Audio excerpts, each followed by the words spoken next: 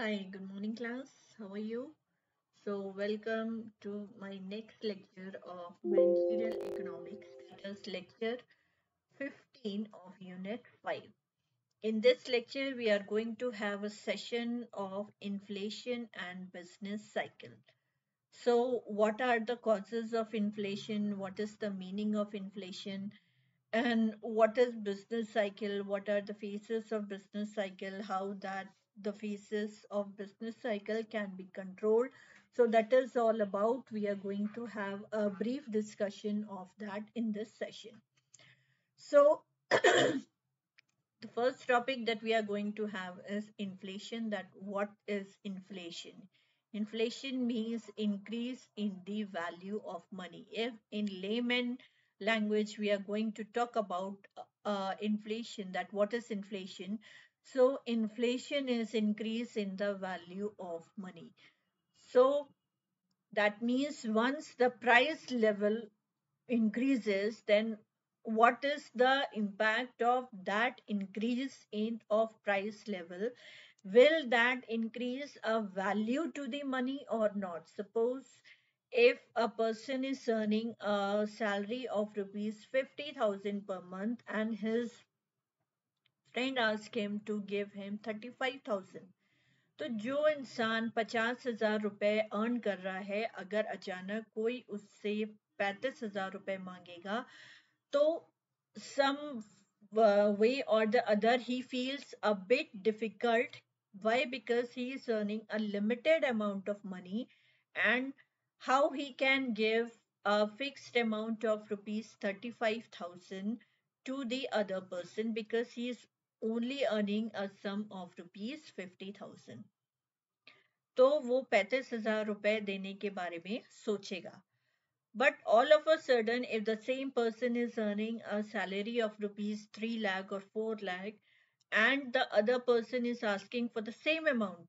so he can give that amount without any prior consideration why because his income has increased तो पैंतीस हज़ार रुपए देना, उसकी वैल्यू उस मोमेंट पे उस इंसान के लिए क्या थी?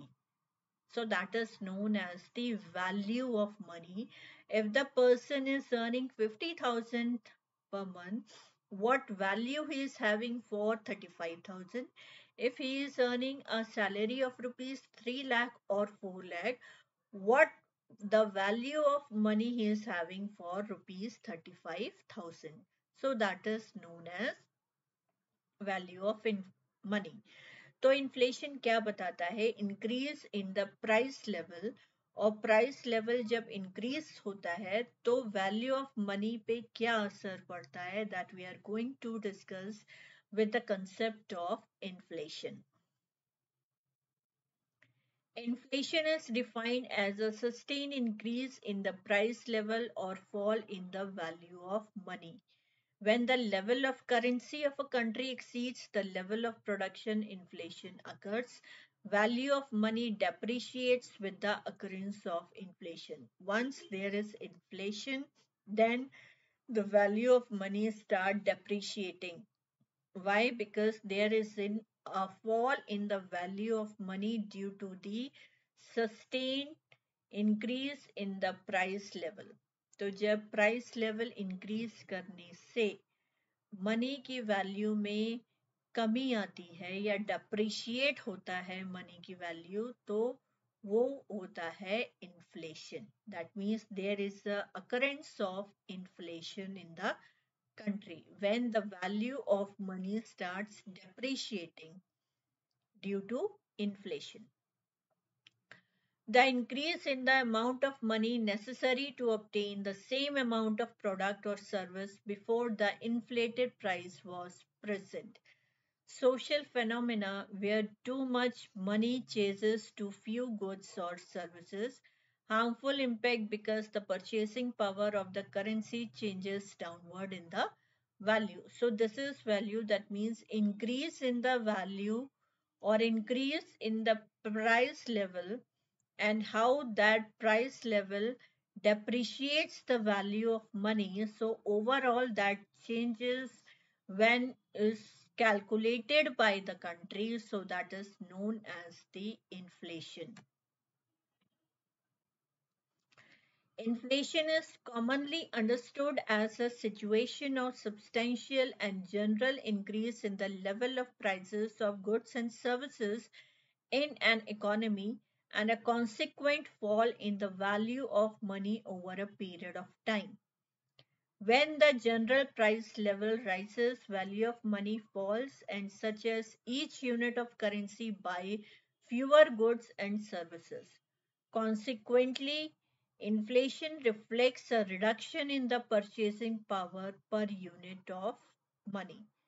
A chief measure of price inflation is the inflation rate which expresses percentage change in a general price index. So, what is inflation all about? It is a situation of increase in the level of price of goods and services in the economy and a consequent fall in the value of money over a period of time.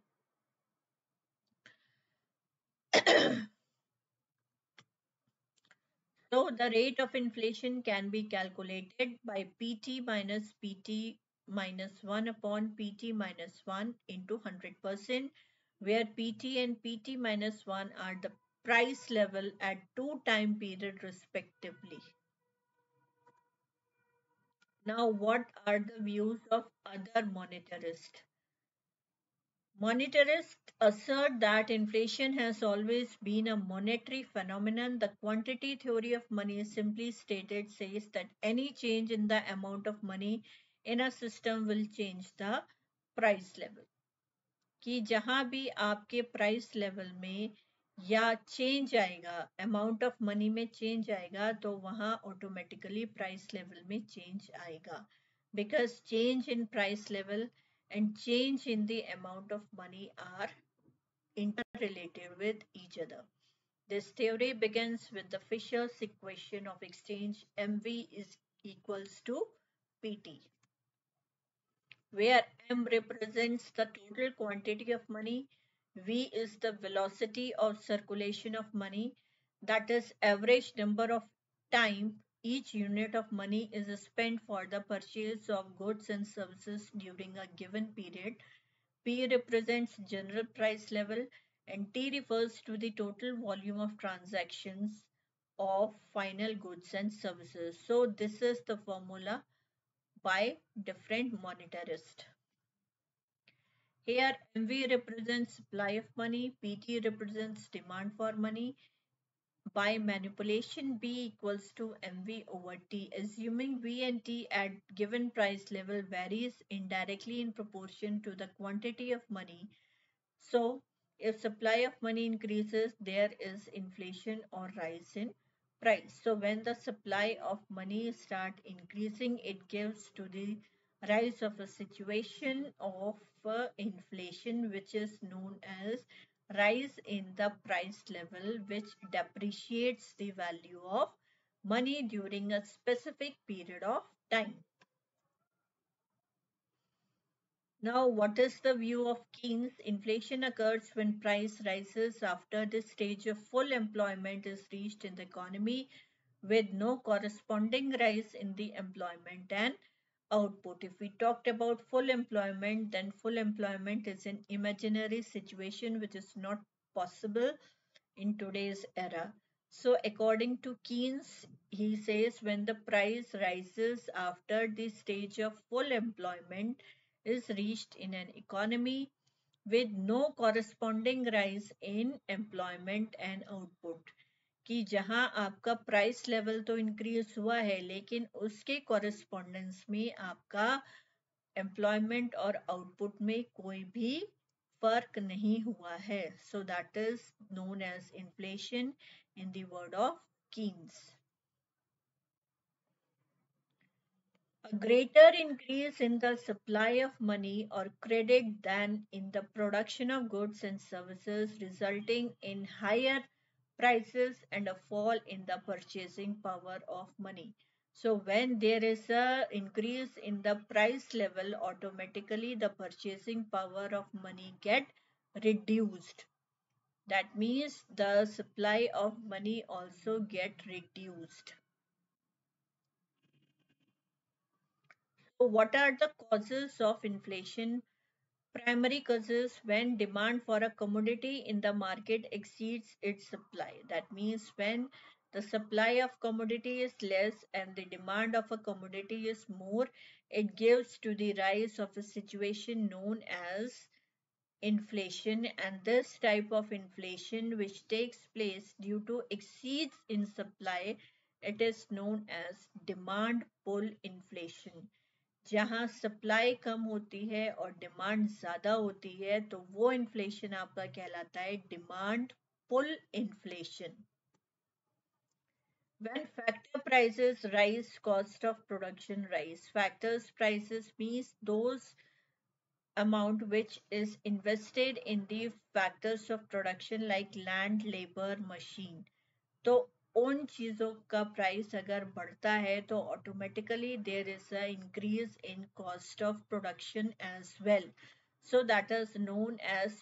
cost push inflation the inflation which occurs due to increase in dust of production is known as dust cost push inflation now we are going to have a detailed discussion about this inflation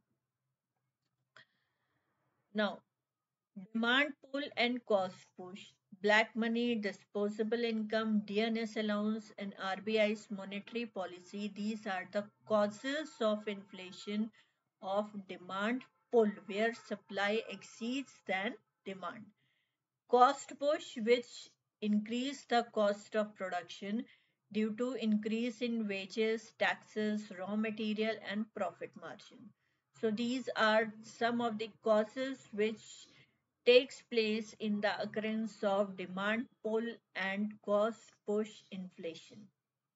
Demand pull inflation is inflation initiated by increase in aggregate demand and cost push or supply side inflation is inflation caused by increase in cost.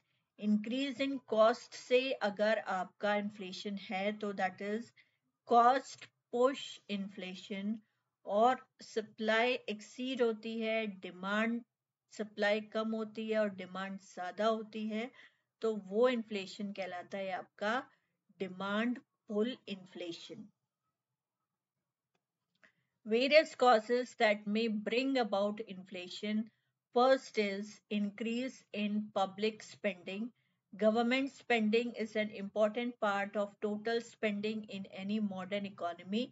It is an important determinant of aggregate demand. In less developed economies, government expenditure has shown an upward trend.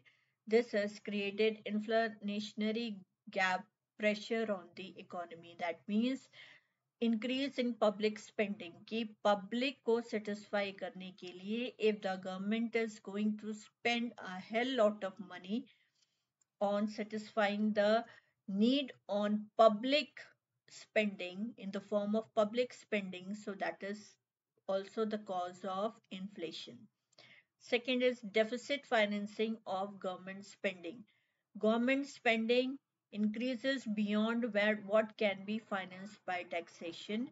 In order to be able to incur the extra expenditure, the government resorts to deficit financing. For instance, it prints money and spends it. This ends to the pressure of inflation. So deficit financing can also be the cause of bringing inflation in an economy increased velocity of circulation of money. That means the particular uh, increase in the circulation of money, if got increase within the economy, it also becomes the cause of giving rise to the problem of inflation. Total use of money equals to money supply by the government into velocity of circulation.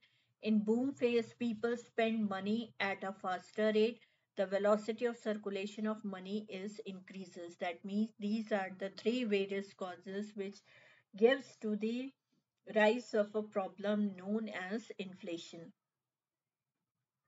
Population growth. If the population of the country is increasing uh, day by day it also becomes the cause of inflation hoarding excess demand is sometimes artificially created by holders the stockpile commodities they do not release them to to the market this leads to excess demand and inflation when the sellers are used uh, a concept of hoarding the commodity and not making a regular supply in the market, it also gives to the rise of inflation. Genuine shortage. If the factors of production are in short supply, production will be affected, supply will be less than demand, prices will increase exports if the total output of a commodity is not sufficient to meet both domestic and foreign demand, then exports will create inflation in the domestic economy. Trade unions, by demanding an increase in the wage rate, they increase the cost of production. So these are some of the causes which gives to the rise to the problem of inflation in the economy. Tax reduction. Government sometimes reduces tax to gain popularity. This leaves more money in people's hand. This leads to inflation if there is no corresponding increase in production. So tax reduction in the rates of taxes can also become the cause of inflation. Imposition of indirect taxes. Government may impose indirect tax such as excise duty, value added tax, etc. Then producers or sellers raise the product prices to keep their profit unchanged. If the government has imposes indirect taxes, then just to be in their profit margin, the producers or sellers are going to increase the prices of their products just to keep themselves in the race of profit margin. Price rise in international market. The imported price of some commodities or factors of production may rise in the world market. It would lead to inflation in the domestic market. Non-economic reasons, for instance, of time of natural calamities, crops are destroyed, reducing the supply of agricultural products. Prices of these commodities tend to increase. As you can here, non-economic reason, you can uh, discuss the example of onion during the prices of onions during lockdown becomes very high. It goes up to 120 to 140 kg. Next is business cycle or trade cycle. So inflation we have completed. Now we will take the second topic of this session that is business cycle. The business cycle is upward and downward of economic activity going one after the another in a cyclical way. It is associated with sweeping fluctuations in economic activities such as production, prices, income, employment, exports, imports, etc.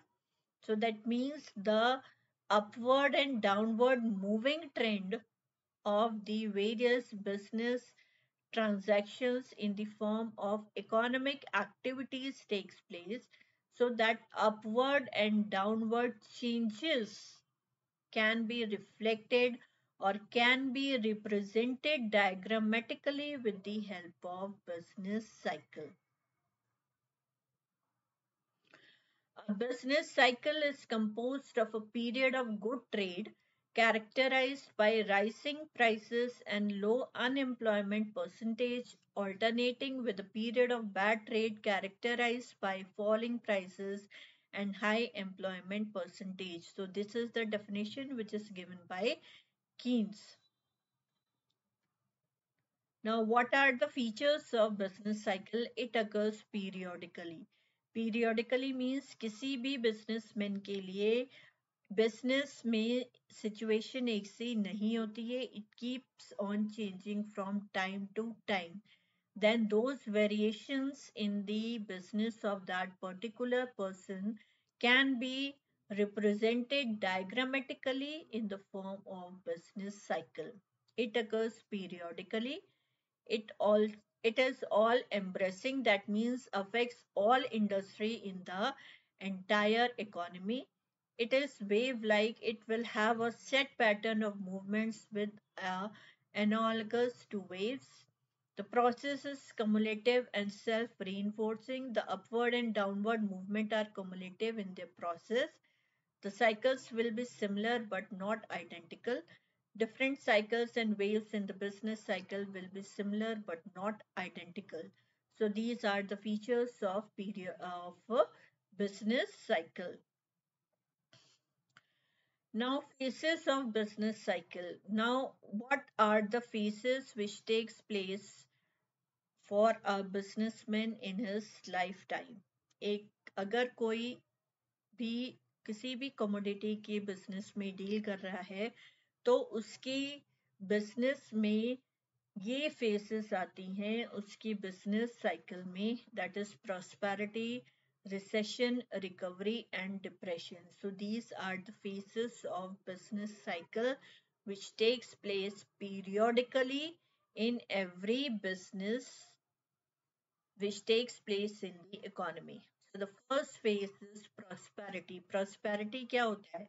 कि जब आपको name fame एक साथ मिलता है that means you are growing you are growing in the upward direction और you are moving in the upward direction so that is known as prosperity prosperity कब आती है? कि जब आप ऊँचे उठते हो when you are moving upward so that is the phase of prosperity high level of output in and trade when the business is earning high level of output and doing well in the business high level of effective demand when the demand is also increasing, high level of income and employment, rising interest rates, inflation, large expansion of bank credit, overall business optimism, a high level of marginal efficiency of capital and investment. तो prosperity में क्या होता है? जब सारी चीज़ें upward direction में जाती हैं so that is known as the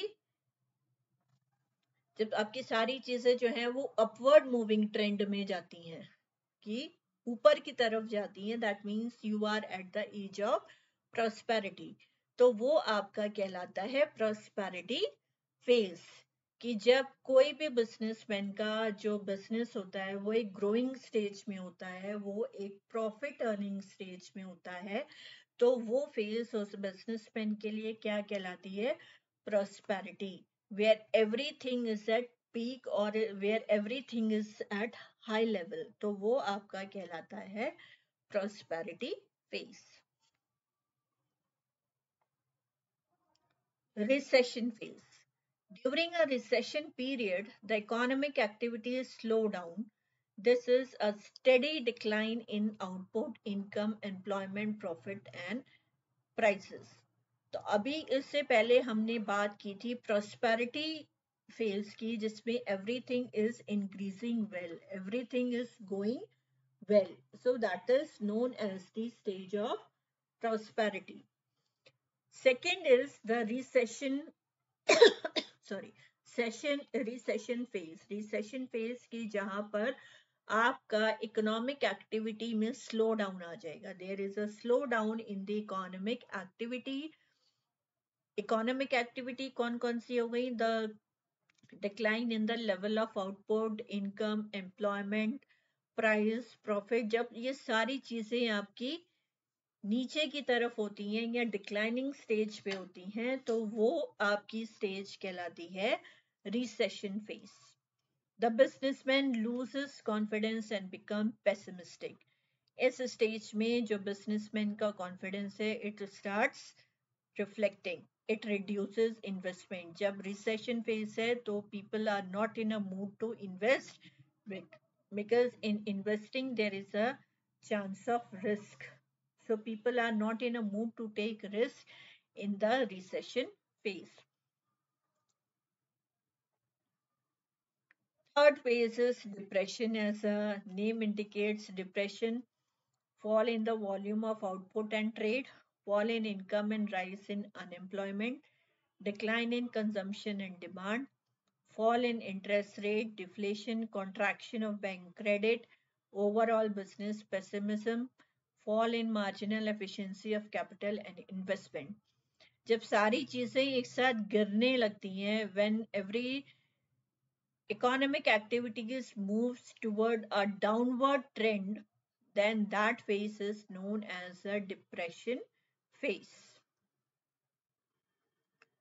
recovery phase during the period of revival or recovery, there are expansions and rise in the economic activities कि कुछ businessmen ऐसे होते हैं कि जो कैसे ना कैसे ही अपने बिज़नेस को डिप्रेशन स्टेज से रिकवरी स्टेज से लाते हैं और फिर रिकवरी स्टेज से it again start moving in the upward direction so that is known as a recovery phase कि जहाँ पर आप अपने बिज़नेस को कुछ इम्प्रूवमेंट देते हो and due to that improvement it again start recovering and moving towards the upward trend so that is known as a recovery phase when demand start rising production increases and this causes an increase in investment there is a steady rise in output income employment prices and profits The businessmen gain confidence and become optimistic. This increases investment. That means these all things known as a recovery phase की जब business depression में गया तो depression में जाने के बाद आपने अपने बिज़नेस को रिकवर करने के लिए कुछ नई टेक्नोलॉजी यूज़ की कुछ नए रिसोर्सेज हायर किए कुछ नए फैक्टर्स ऑफ़ प्रोडक्शन यूज़ किए and after that you are in the recovery stage or recovery से फिर आप you are moving towards the upward moving trend so that is known as a recovery phase where you give a second chance to your business that how to by making certain improvements how you can take your business at the same heights so this is all about for this session now we will meet in the next session of the managerial economics. Till then, stay safe and be happy and start revising. Be in a habit of revision. Thank you, class.